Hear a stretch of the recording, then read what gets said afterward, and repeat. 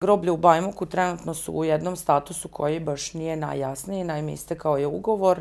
i tu sada gledamo kakve su mogućnosti da e, javno preduzeće ponovo obavlja i tamo delatnost. A ko sada obavlja? E, sada obavlja privatno preduzeće koje je imalo ugovor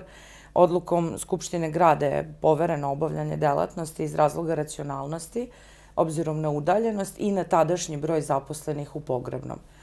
Nas trenutno ima 36 i uspevamo da obavimo sve ove poslove na teritoriji grada,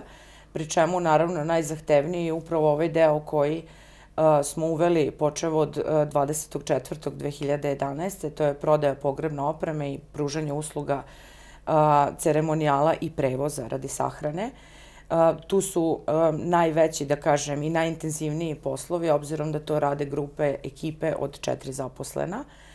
ali ipak uh, računam da bih mogli da, da prihvatimo i takav izazov, jer se radi o preduzeću gde smo zbilje uhodali pojedine poslove, a s druge strane uh, vrlo je očigledno prihod koji ostvarujemo od obavljanja tih delatnosti,